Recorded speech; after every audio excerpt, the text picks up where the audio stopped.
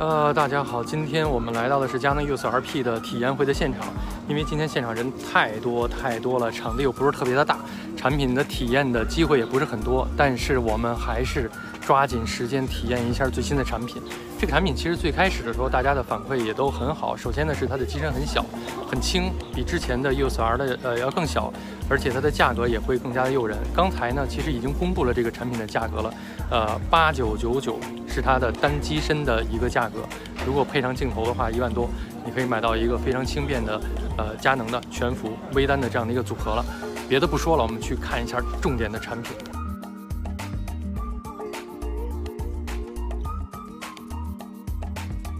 呃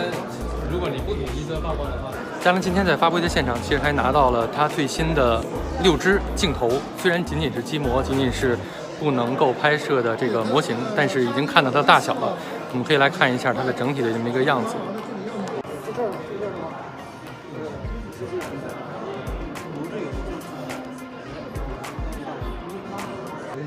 我们在现场其实已经看到了，那么算上最新发布的这六支镜头，加上之前的四支镜头，EOS R 的这个系统里面其实已经有了十支镜头可以用了。呃，再如果再配上转接环的话，你可以使用之前的 EF 镜头，呃，选择的余地还是非常宽泛的。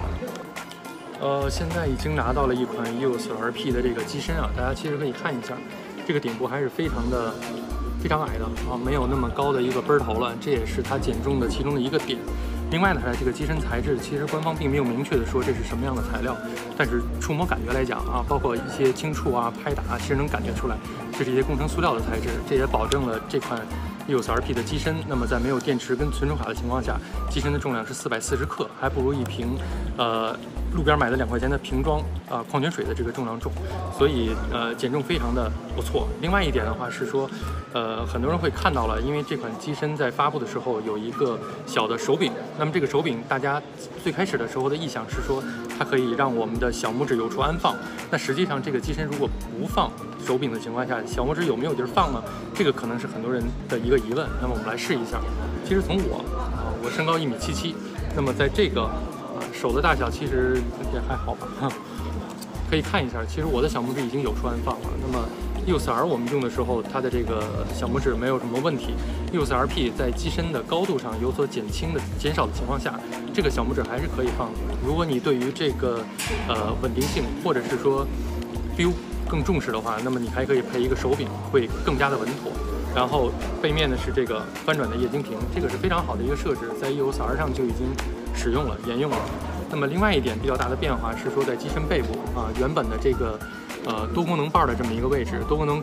呃控制条的这样的一个位置，它是已经取消了，不要用了。而且之前在呃，机身顶部有这个模式拨盘啊，智能的模式拨盘的位置已经变成了原来的这种传统的模式拨盘。这个拨盘，呃，佳能的用户应该是非常熟悉的，用起来没有任何的，呃，没有任何的不习惯。呃，机身变小，那么机身重量变轻，那么与此同时一点的话，一个大的变化